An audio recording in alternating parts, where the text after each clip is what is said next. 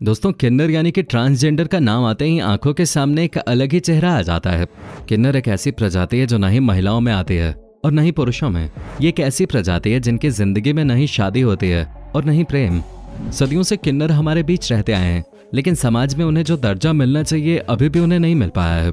हालाँकि विदेशों में किन्नरों यानी कि ट्रांसजेंडर्स को आज समाज का हिस्सा मानकर पूरी आज़ादी दी गई है। वहाँ इंसान उन्हें टेढ़ी नज़रों से नहीं देखता और किन्नर वहाँ खुलकर अपनी ज़िंदगी जीते हैं। आज हम आपको कुछ ऐसे ही किन्नरों के बारे में बताने जा रहे हैं, जिनकी खूबसूरती पर दुनिया भर के लोग मरते हैं। तो चलिए शुरू करते हैं। दोस्तों, सबसे पहले बात करते हैं अमिलिया माल तेपे के। अमिलिया एक मॉडल है और मूल रूप से बांग्लादेश के रहने वाले हैं। अमिलिया का जन्म बांग्लादेश के एक मुस्लिम परिवार में हुआ था। अमिलिया के पिता काफ़ी सख्त थे। उनके घर में हर चीज़ को करने की रोक टोक थे। वो अपने मन से किसी चीज़ को नहीं कर सकते थे।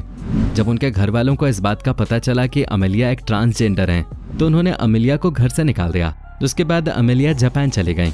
वहाँ उन्होंने अपने शरीर में कुछ हार्मोनल चेंजेस करवाए और मॉडलिंग की दुनिया में कदम रखा।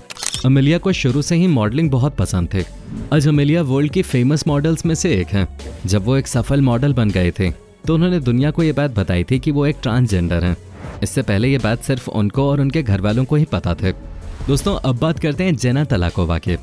जेना का जन्म 15 अक्टूबर 1988 को वैंकूवर, कनाडा में हुआ था। जेना को बचपन से ही मॉडलिंग का बहुत शौक था। जेना बड़ी होकर एक मॉडल बनना चाहते थे, जिसके लिए उन्होंने काफ़ी मेहनत की। और फिर 2012 में मिस यूनिवर्स कनाडा पेजेंट में भाग लिया। वहाँ से मीडिया का ध्यान उनकी खूबसूरती पर गया। जेना ने ट्रांसजेंडर महिलाओं के लिए कई काम किए हैं। दोस्तों, आपको बता दें कि जेना को बड़े बड़े ब्रांड्स अपने प्रोडक्ट प्रमोशन के फोटोशूट के लिए कॉन्टैक्ट करते रहते हैं। दोस्तों, अब बात करते हैं थलीता जैम्पिरोली के, जो एक ब्राजीलियन मॉडल हैं।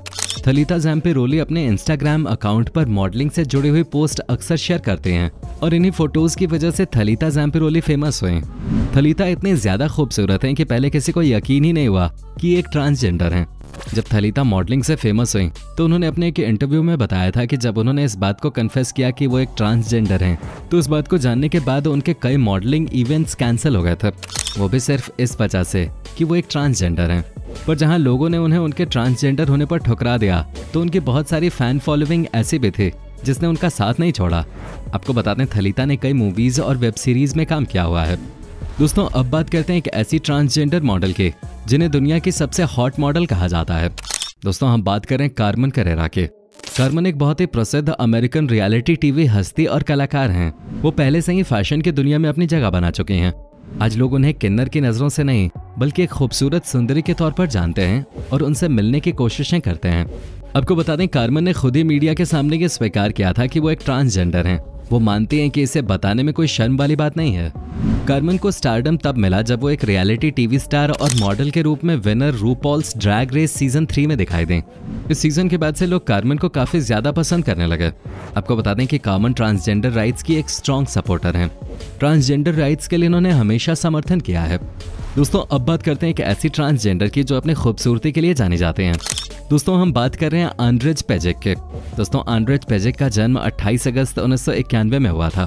आंड्रेज पेजेक एक ऑस्ट्रेलियाई टॉप क्लास मॉडल हैं और दुनिया की सबसे खूबसूरत महिलाओं में से एक हैं। वो पुरुष और महिला दोनों के कपड़ों में मॉडलिंग करने की अपनी अनूठी क्षमता के लिए जाने जाते हैं। आंड्रेज पेजेक को उनके सबसे खूबसूरत महिला लुक के लिए जाना जाता है और उन्होंने हाल ही में मॉडल डॉट कॉम की सूची में अठारहवीं रैंकिंग हासिल की थी। जनवरी 2011 के पेरिस फ़ैशन शो में उनके जीवन की एक बहुत ही प्रसिद्ध घटना घटे, जहाँ उन्होंने पुरुषों और महिलाओं के साथ रैंप पे चलते हुए अपना असली कौशल दिखाया और उस समय उन्हें उनकी अनूठी क्षमता के लिए दुनिया भर में पहचाना गया। और साल 2011 में ही उन्होंने जॉन पॉल गॉटलियर शो में महिलाओं के रूप में और मार्क जेकब्स शो में पुरुष के रूप में भाग लिया। आपको बता दें 2011 में उन्हें विश्व की 100 सबसे सेक्सीएस्ट वुमेन की एफएचएम मैगजीन लिस्ट की सूची में 98 रैंक हासिल हुए थे। दोस्तों, अब बात करते हैं एक ब्राजीलियन मॉडल वैलेंटीना सैम्पेयो के। वैलेंटीना का जन्म 10 दिसंबर उन्नीस सौ छियानवे को ब्राज़ील में हुआ था। वैलेंटीना की माँ एक स्कूल में पढ़ाते हैं। वैलेंटीना बताती हैं कि जब वो आठ साल के थे, तब उन्हें पहली बार महसूस हुआ था कि वो अपने साथ पढ़ने वाले बच्चों से थोड़ी अलग हैं। जब उन्होंने ये बात अपने घर वालों से बताई तो उनके घर वालों ने वैलेंटीना का पूरा समर्थन किया। वैलेंटीना ने 2019 में पहली बार एक फ़ैशन शो में ट्रांसजेंडर के रूप में भाग लिया था। यहाँ से उन्हें एक अच्छी पहचान मिले। लोगों ने उनकी खूबसूरती को काफ़ी पसंद किया। Valentina Dior H N M L'Oreal Marc Jacobs और मशीनों जैसे कई बड़े बड़े ब्रांड्स के प्रमोशन में देखे जाते हैं। वैलेंटीना पहली ऐसी ट्रांसजेंडर मॉडल हैं, जिन्हें वोग पेरिस कवर में जगह मिली है। वैलेंटीना को 2017 में रिलीज़ हुई फ़िल्म बोनिस प्रोक्योरा में भी देखा गया था। दोस्तों, अब बात करते हैं आइसिस किंग के। आइसिस किंग एक अमेरिकन एक्ट्रेस और मॉडल हैं। आइसिस को इस जनरेशन की इन्फ्लुएंशियल ट्रांसजेंडर वुमेन के रूप में देखा जाता है। आइसिस ने L world generation Q equal good trouble the bold and the beautiful और शिमलेस जैसे हिट नेटफ्लिक्स सीरीज़ में मुख्य भूमिकाएँ निभाई हैं। आइसिस फिलाडेल्फिया के आर्ट्स इंस्टीट्यूट से ग्रेजुएट हैं। आइसिस ने आर्ट्स इंस्टीट्यूट ऑफ़ फिलाडेल्फिया में ही फ़ैशन क्लब के वाइस प्रेसिडेंट के रूप में काम किया था और 2005 में बेस्ट इवनिंग वेयर का अवार्ड जीता था। आइसिस अमेरिका के नेक्स्ट टॉप मॉडल पे कम्पीट करने वाली पहली ट्रांसजेंडर महिला हैं। दोस्तों, अब बात करते हैं एक और अमेरिकन मॉडल और एक्ट्रेस हारी नेफ के। हरीनेफ का जन्म 21 अक्टूबर उन्नीस को अमेरिका के पेंसिल्वेनिया के फिलाडेल्फिया में एक यहूदी परिवार में हुआ था। उनके पिता का नाम डेविड नेफ है, जबकि उनकी माँ का नाम रॉबिन स्लेपनिक है। जब वो दो साल की थीं, तब इनके माता पिता का तलाक हो गया। उसके बाद वो अपनी माँ के साथ न्यूटन मैसेच्यूसेट्स चली गईं। हरी ने 2011 में कोलंबिया यूनिवर्सिटी से ड्रामा एंड थिएटर आर्ट्स किया और 2015 में ड्रामा एंड थिएटर आर्ट्स का कोर्स पूरा कर लिया। हरी पहली ऐसी ट्रांसजेंडर हैं जो एक लेखिका भी हैं। हरी ने मॉडलिंग के अलावा फ़िल्मों और टीवी शोज़ में भी अभिनय किया है। उन्होंने साइकोलॉजिकल थ्रिलर शो यू में ब्लाइथ की भूमिका निभाई है। हरी टम्बलर और इंस्टाग्राम पे एक फ़ेमस एल सोशल मीडिया इन्फ्लुएंसर हैं और उनकी लगातार बढ़ती लोकप्रियता ने उन्हें एलजीबीटी के रूप में एक ऐसा सोशल मीडिया इन्फ्लुएंसर बना दिया है, जिसे लोगों ने सबसे ज़्यादा फॉलो किया है। दोस्तों, अब बात करते हैं लेना ब्लूम के। लेना ब्लूम का जन्म 25 अप्रैल 1990 को शिकागो में हुआ था। ब्लूम का बचपन बहुत ही कठिनाइयों के साथ बीता। जन्म के बाद लेना के पिता ने उनकी माँ को छोड़ दिया था, जिसकी वजह से वो अपनी माँ के साथ रहते थे। बचपन में उन्हें डांस में काफ़ी इंटरेस्ट था, इसलिए उन्होंने ballet lyrical hip hop modern jazz tap और वोक जैसे डांस में स्टाइल सीखे और एक वर्सेटाइल डांसर बन गए इन दिनों ब्लूम दिन भर एक रेस्टोरेंट में काम करते थे और रात में डांस की प्रैक्टिस करते थे। जब वो 14 साल की थी तो उन्होंने अमेरिका बैलेट थिएटर के मंच पे अपना डांस प्रस्तुत किया। उनके परफॉर्मेंस की वजह से उन्हें शिकागो आर्ट अकेडमी से स्कॉलरशिप मिले। लेकिन जब लोगों को पता चला कि वो एक ट्रांसजेंडर हैं तो उन्हें प्रोग्राम में भाग नहीं लेने दिया गया और उन्हें अकेडमी से बाहर कर दिया गया। इसके बाद वो न्यूयॉर्क चली गईं और वहाँ पर जाकर भी उन्होंने एक रेस्टोरेंट में काम करना शुरू कर दिया।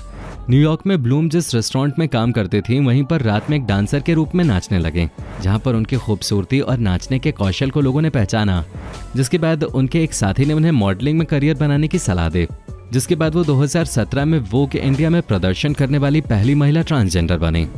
दोस्तों, अब बात करते हैं जीना रोके रोके। जीना का जन्म फिलीपींस में हुआ था। जीना जब 15 साल के थे, तब से उन्होंने ब्यूटी पेजेंट्स में कम्पीट करना शुरू कर दिया था। जीना एक सुपर मॉडल के अलावा एक एडवोकेट और टेड स्पीकर भी हैं।